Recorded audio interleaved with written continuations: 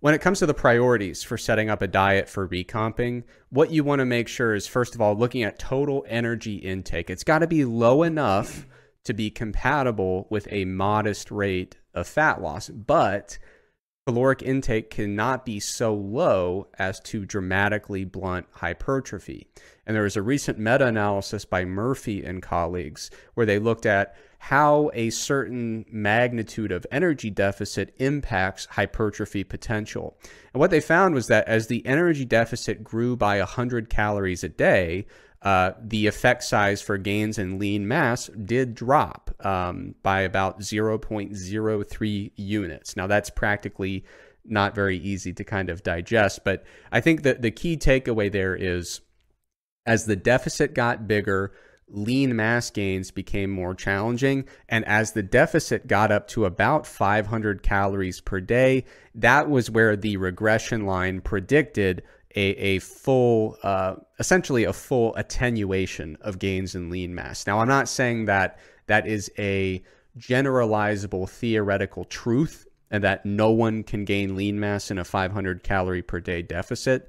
But that's where the data indicated as you're getting up near 500 calories a day for your deficit, it's going to be pretty tough sledding. So I think that's helpful in kind of dictating the ideal deficit to shoot for and as an extension of that kind of what kind of rate of weight loss you, you can potentially be aiming for uh, you know as you extend that information out the other thing you want to focus on so calorie intake has to be low enough to support some fat loss but high enough to support uh, gains in lean mass you also need to make sure that your protein is high enough to support gaining muscle. So, in most cases, based on the evidence I'm seeing, 1.6 to 2.2 grams per kilogram of body mass still seems to be a good range there.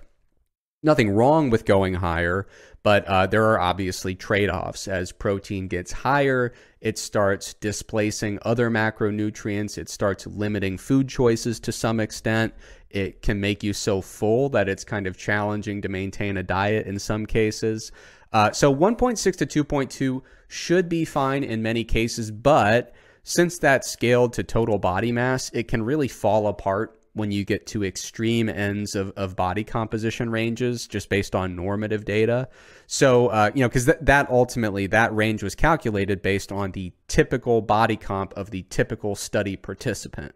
Uh, so, pretty much a large portion of it is college aged folks and say, hey, you want to come do a study and make 75 bucks? Like that's pretty much where that that number is coming from. Yeah. So if you're really really lean um, you know uh, or, or you're on the higher end of the body fat spectrum those numbers might not work out as well. In that case i'd say probably somewhere between 2 and 2.75 grams per kilogram of fat free mass just making your best estimate. That should put you in a pretty similar range. You can make an evidence based argument that there are some circumstances where in order for recomping to be feasible you should bump that up to 2.3 to 3.1 grams per kilogram of fat free mass. But from the data I've seen, the only situation where that really applies is if you're quite lean or dieting very hard and you're just trying to hang on to some hope of retaining or potentially gaining fat free mass in the process. But that scenario alone is automatically a bit of a long shot for recomposition. So, my recomposition guideline like I said, 1.6 to 2.2 grams per kilogram of total mass or 2 to 2.75 grams per kilogram of fat free mass.